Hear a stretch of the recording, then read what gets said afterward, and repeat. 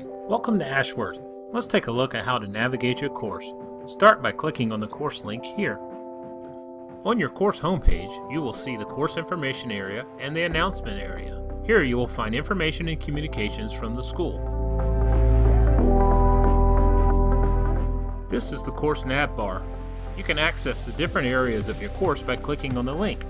Let's start with content. Content is arranged with the menu tab on the left and the viewing pane on the right.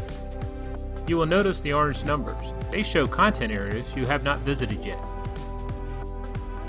Click on the lesson to access the content. You can access any part of the lesson directly, or you can start at the top.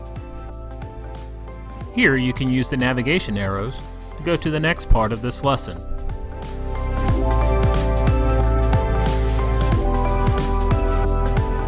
And you can go back to the beginning by clicking the link here. This progress bar keeps track of where you visited.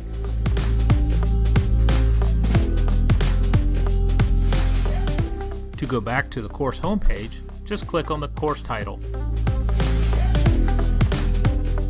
The next area takes you to your assignments.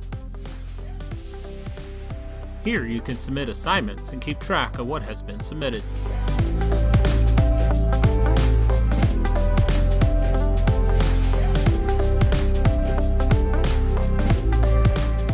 Next, let's go to the gradebook.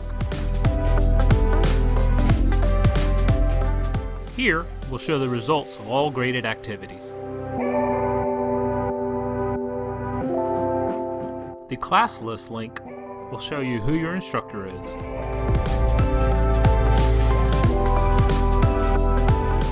Thank you and enjoy your studies.